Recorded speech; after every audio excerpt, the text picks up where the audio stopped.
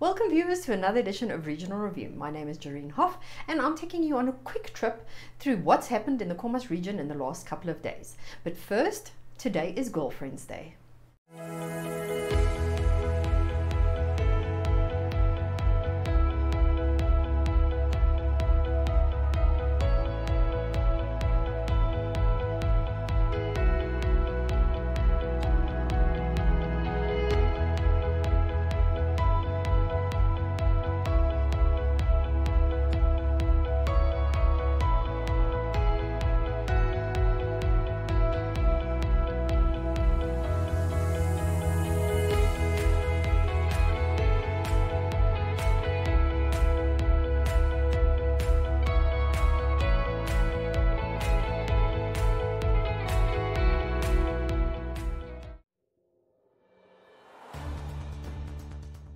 Evening Review is a daily interview based talk show that dissects and expounds on current affairs as they occur in Namibia. The show aims at reaching Namibians of all age groups who seek better understanding of the state of current affairs in the country This show is broadcasted on NTV, oneup2.com, and cross shared on the following Facebook platforms Namibian Sun and Namibia Media Holdings. The Evening Review focuses on interviews, latest news, and up to the minute current events. Contact evening at synergy.com.na.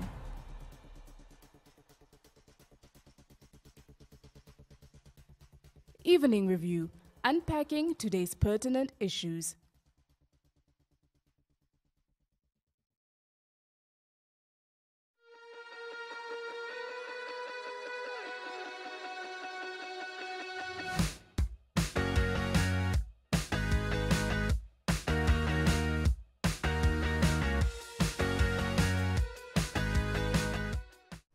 Our first news clip today, e-hailing service Lefa has just launched a new product called the Shuttle Butler. Micheline says has more. Warm welcome to the launch of the Lefa Butler. We appreciate your presence with us today in celebrating this major milestone. My name is Yalo Maongo, and I am the marketing manager at Lefa Transportation Services.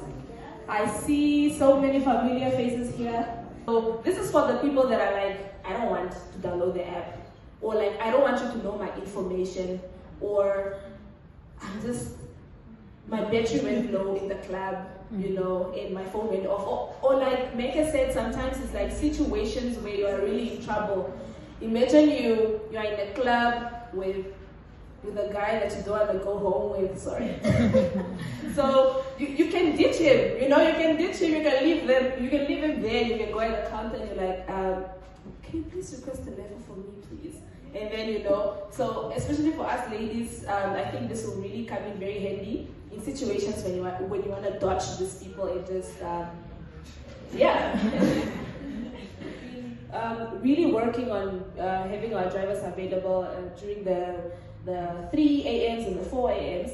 And that's, we've incentivized our hours, like we've increased the increase the fare prices so that it incentivizes the drivers to be out in the middle of the night. So our prices have now increased uh, during the night so that drivers are also motivated to, to, to stay out and make more money in the evening.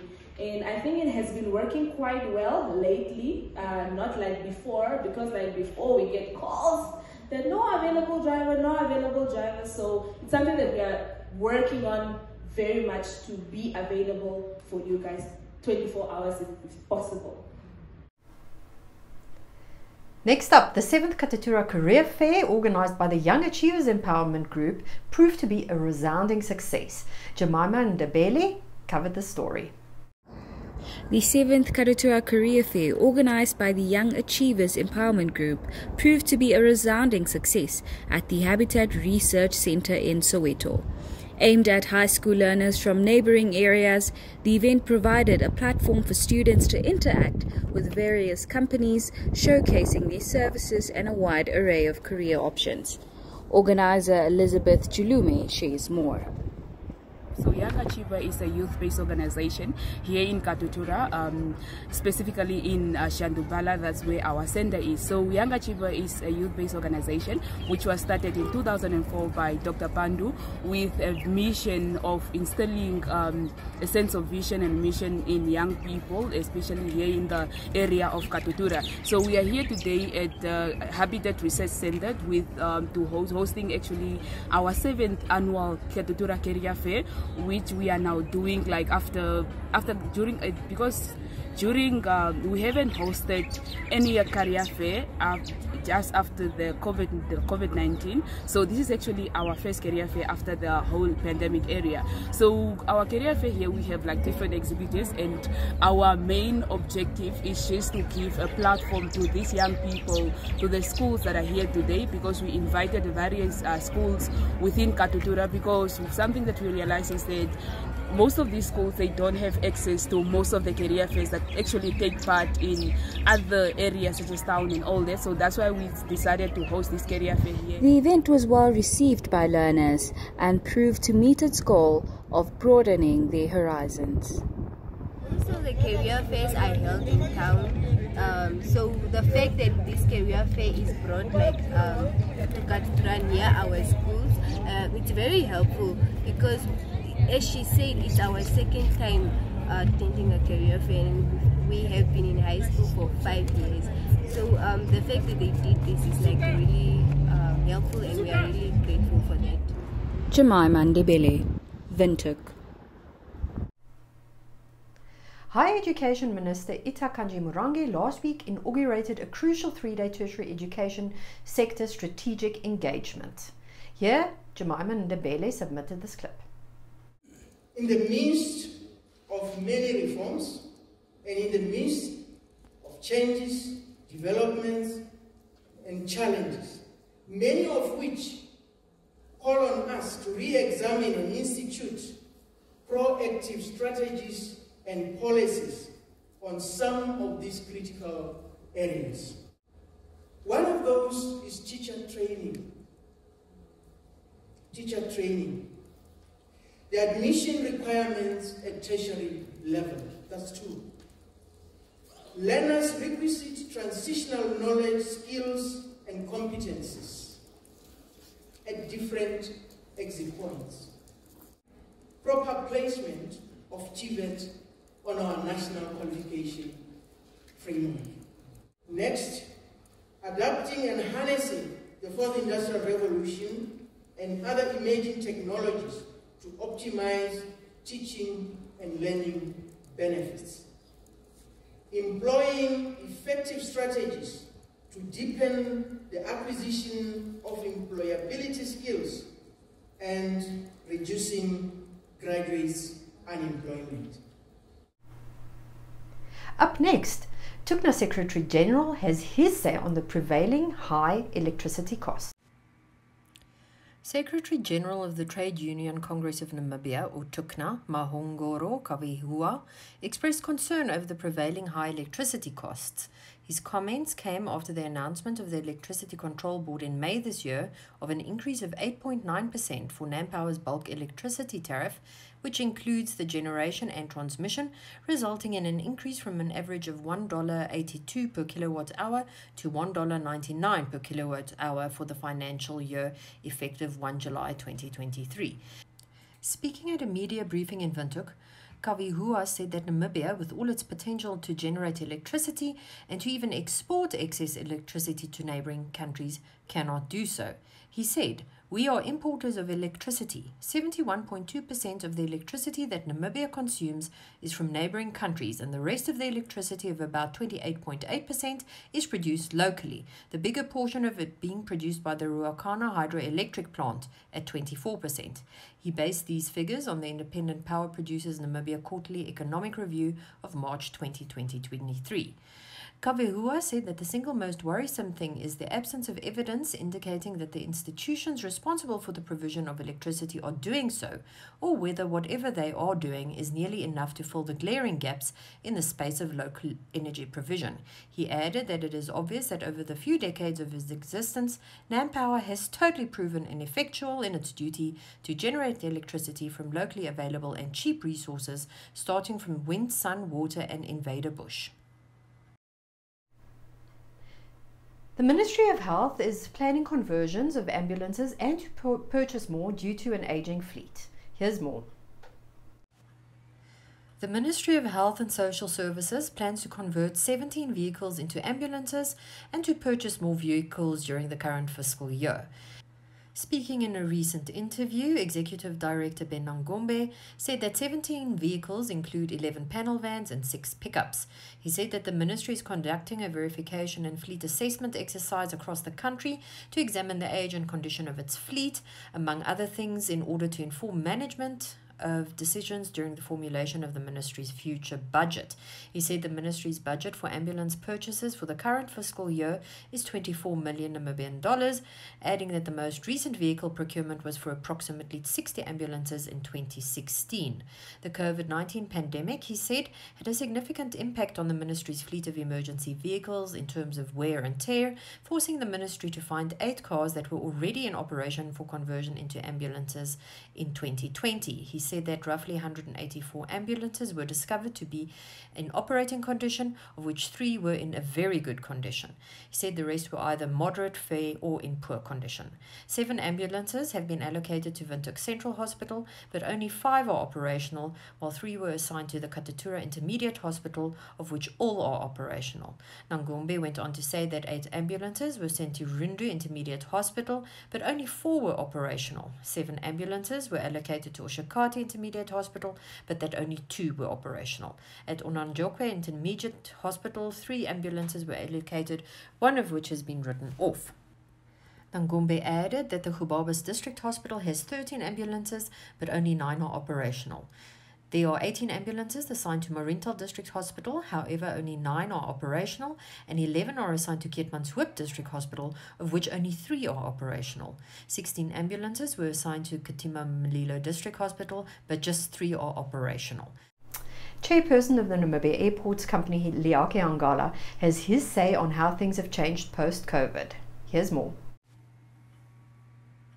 The Namibia Airports Company, or NAC, has made substantial headway in stabilizing its operations, with the company now functioning at roughly 79% of its pre COVID 19 levels.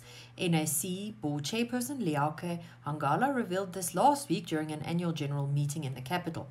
Hangala noted that the NAC is committed to improving its airport's infrastructure in order to support government's national development goals and harness the natural resources resulting from recent oil and gas finds, as well as the green hydrogen initiatives. Speaking at the event, Hangala said that the NAC has achieved the development of their integrated strategic business plan, submitted to and approved by the shareholder of the company's budget and business plan for the 22 23 financial year, infrastructural and service improvements at the airports, spearheading aviation connectivity initiatives, as well as the introduction of stringent cost cutting measures that led to the current and improved financial performance and standing of the company. Speaking at the same event, Titus Ndove, Executive Director in the Ministry of Finance and Public Enterprises, said that um, the ministry recognizes and applauds the NAC for its increased performance in financial operations, leadership, governance, and compliance. He noted that it is commendable to see a state owned firm strive for expansion while remaining legally competent. He said that as the shareholder, they are in support of the presented strategic initiatives and will continue to support the NAC to mobilize the necessary resources for the successful implementation of infrastructural improvements at its various airports. The envisaged airport infrastructure developments include the Hosea Kutako International Airport Congestion Alleviation Project to extend the VIP facilities, as well as parking configuration at a cost of 18 million, and apron expansion at the same airport to the tune of 100 million, which is funded by government over a two year period. Furthermore, discussions are ongoing for the construction of Terminal 3 at Hosea Kutako International Airport and the optimal financing structure for the project and the construction of new terminal buildings at Katima Mulilo, Rundu, and Lüderitz airports. Yolanda Nell and I recently had the opportunity to travel to Gobabis where we met a number of interesting persons. We also managed to get a number of interesting stories. Here Yolanda spoke to the Vocational Training Centre. Good morning, ma'am. First and foremost, I'm Ernst Christian Eichap. I'm the project manager of, or doubling in as the acting center manager of Gobabis Vocational Training Center. Our center has been established five years ago. In 2016, it was inaugurated by the Honorable Minister Ida, Dr. Itah Kandjii-Murangi. And 2017, September, it was officially taken over by Namibia Training Authority it is resorting directly under the training authority and we are offering technical vocational education and training courses here. We have currently air conditioning and refrigeration from level 1 to level 4. Then we have got office administration from level 1 to level 4 as well. Then we have got uh, automotive, electrical and electronics from level 1 to level 4 as well. And we are starting as from end of this month, July, we'll be starting with clothing production from level one to level four as well. We'll move over also to welding and metal, metal fabrication from level one to level four. And then we have switched over from automotive electronics to automotive mechatronics from level one to level four. And in the near future, we'll introduce electrical general, we'll introduce solar, we'll introduce agri-TVET, agriculture, a com combination of crop farming as well as animal husbandry. And then we are planning solar energy also as training. And then also we are planning to have a hostel of 300 trainees here sure. in the near future. 300 is a lot. How, how many um, students do you currently have? Currently, we have uh, 100 and 55 trainees. And with the new intake, we are envisioning to move over to 300 trainees with the new intake. Last year, we had uh, a graduation where we have uh, 155 level 3 trainees as artisans. We qualified them as artisans. So they are now in job markets looking for job or creating jobs in the country. Why is vocational training so important? Madam, this is the backbone of the country.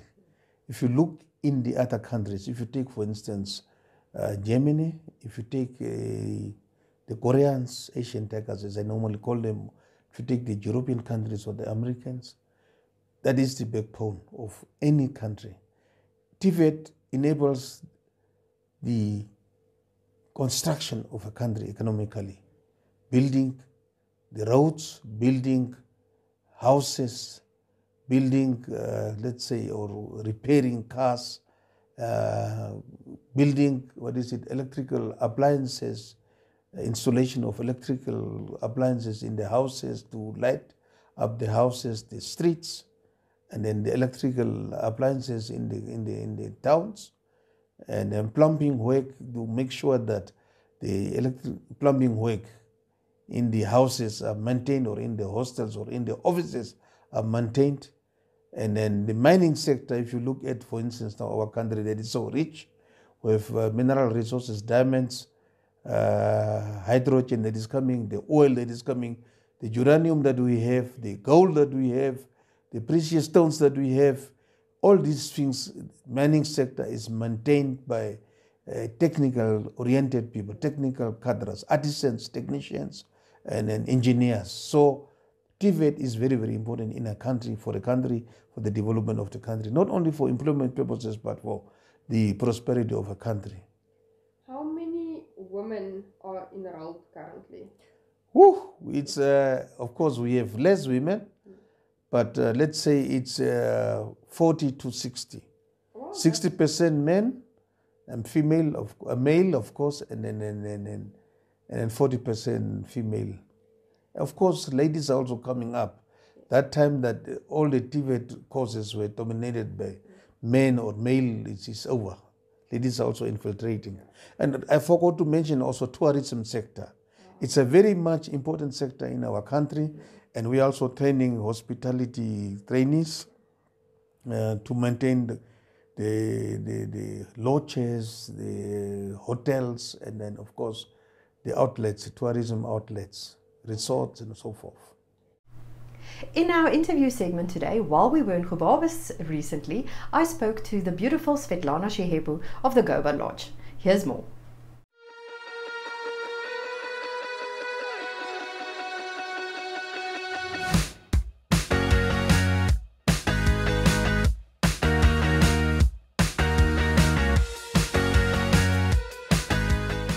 Welcome back, viewers. With me is um, Svetlana Shehepu. Yes. And she is brand new to the Goba Lodge here in Gobabis. Yes, about a month and a half now.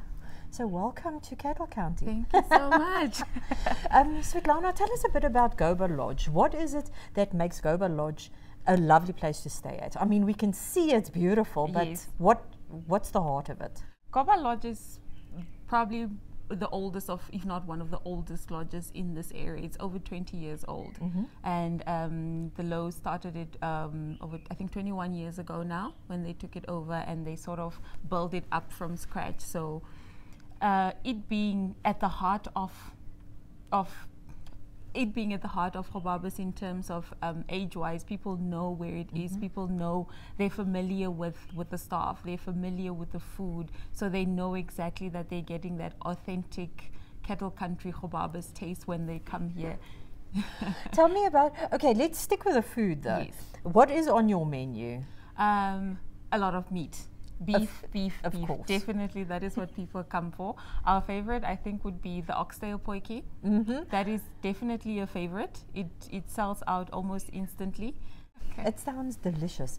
Um, and then in terms of the accommodation, what what does Goba offer? Goba offers, we offer anywhere from um, luxury rooms. We've got a luxury villa here on the premises. We usually give that out to uh, wedding couples because Aha, we host course. weddings here at our conference site. So that is a really cute um, overnight experience for them. And then we've got your standard uh, luxury rooms, double room and single rooms. We've got some rest camp rooms as well, which Okay. accommodates a communal kitchen and a communal bathroom for those that don't want to spend too much or can't. And then we've got a rest camp area where they can set up, pitch their own tents or park their cars and they can overnight there. So there's really something for everyone. Definitely, 100%. Um, Svetlana, tell me about the staff here. You mentioned earlier that they um, are integral to the, the whole operations here. Yes. Some of the staff members have been with the lodge for a very long time. Some of them were at here from the very beginning, so they were right at inception. So they know the area very well. They know the client by first name basis, especially our restaurant clientele that comes in for dinner. And I think probably the longest some have been here for up to 10, 12 years. Oh, that is certainly us. Yes, impressive. yes. And you being new here, what lies ahead for you? Well, for myself, I'm hoping to bring a little bit of a new pizzazz when it comes to the hospitality industry because it's, it's quite rooted in a in a traditional setup in terms of a lodging area it being in cattle country so we're just hoping to implement um, something that is a little bit in new in terms of attracting a more tourism clientele Yes. so we want to give them an experience of cattle country so we're working on marketing aspects as well as just small little things that we can include like we've got some game here on the lodge Oh, you'll have to elaborate on that. Yes, we've got um, a few ostriches here on the on the lodge. We've got some horses as well. Yes. One is wild and one is fairly tame. So Okay. Yes, but they're friendly. They are definitely Okay, that's the main thing. Yes, and we've got a lot of buck out here, and we've got some oryx as well. And then I just have to ask on the way here, I saw an elephant. Yes. Is that part of your setup here? That is not part of our setup. That is part of the Khobaba setup, but the elephant does not move. no, we saw. Yolanda and I were looking at it and we said, What is Is this? real? okay, and you were when we came now, you were busy uh, working on the website. Yes. Is that one of the changes that you're also implementing? That is one of the changes because Goba Lodge has ha does not have their own website at the moment. We're hosting with um, platforms like Booking.com, with um, TripAdvisor. Mm-hmm. So at the moment, I am working on basically building up a website for the lodge from scratch, and we're hoping that's going to give it a little bit more of a digital footprint so that we can appeal to the more techie market, mm -hmm. the Mm-hmm. ones that they book immediately online through apps, so that we're trying to bring that in as well. You also mentioned um, the the wedding venue here. Yes. So, um, do you offer this full service? Yes. What does that all include? Yes, we offer a wedding venue. We've got a conference hall on the premises. Mm -hmm. For we how many people? It can accommodate up to 180 people. Okay. So it's quite a large venue, and we can accommodate anywhere from seating arrangement to decorating to um, the food as well. So Okay. whatever it is that the client requests for reception, then we can definitely do that. Brilliant. Is there anything else that you feel uh, people out there, both Namibians and foreigners, really should know about Goba and why they must come here? I think the one thing I can definitely say is that if you want a traditional experience of Cattle Country, Goba Lodge is definitely the place to come. We make sure that we get in uh, premium cuts of beef, and that's what people really want to experience when they come here. So that is one thing that we know we'll always be able to, to offer. And if you just want a nice, quiet, serene place while you're in the area or if you're passing through, that will give you an authentic Gobabis experience, then Goba Lodge is the place to go. Thank you for tuning in today, folks. We've come to the end of our show. We hope to see you again next week. In the meantime, stay safe and stay warm.